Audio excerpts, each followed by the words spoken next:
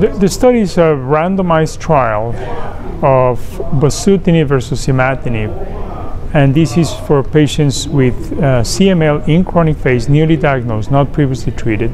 So initial therapy, uh, again comparing these two strategies, imatinib being the control, sort of the standard, bosutinib, um, which is currently approved uh, for second line for, for patients who have received prior therapy and, and not responded well, but not approved for frontline therapy.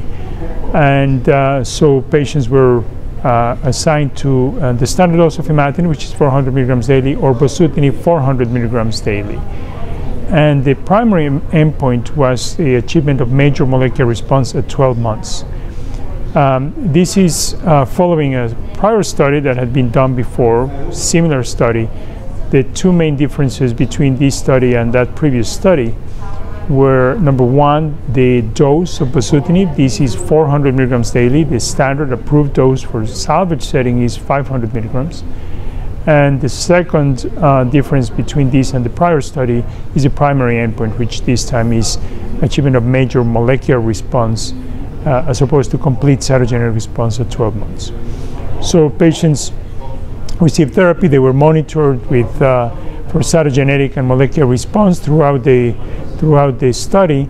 And what we're reporting here is the first analysis when every patient has reached the 12-month mark and uh, so therefore we're reporting the primary endpoint.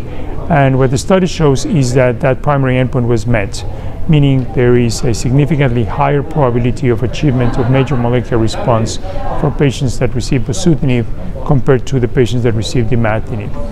Uh, this comes with other measures of efficacy. Um, the, the rate of cytogenetic response was also higher. Uh, the earlier responses, the three month um, transcripts less than 10%, which is another important um, hallmark of, of, the treatment of CML, was also significantly better for bosutinib. Uh, there have been fewer transformations with uh, bosutinib compared to imatinib. So all the uh, measures of efficacy were, were uh, aligned with the primary endpoint. Um, of course, for some of them, it's very early uh, event-free survival, overall survival is way too early to tell. Um, but, uh, but, but certainly there is some suggestion of, of uh, benefit for uh, patients treated with bosutinib significantly compared to imatinib.